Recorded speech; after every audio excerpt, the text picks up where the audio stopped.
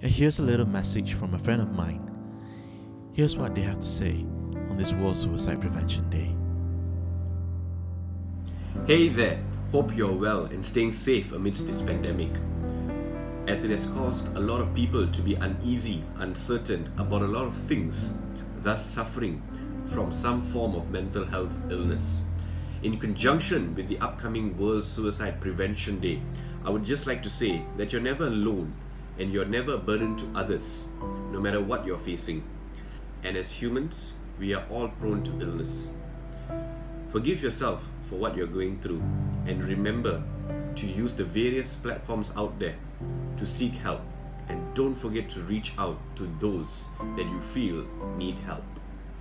Somewhere, someone out there is thankful for you and your life. You're never alone. We are here for you. Remember that. Stay safe. Hashtag kita jaga kita. Hold on. Live on.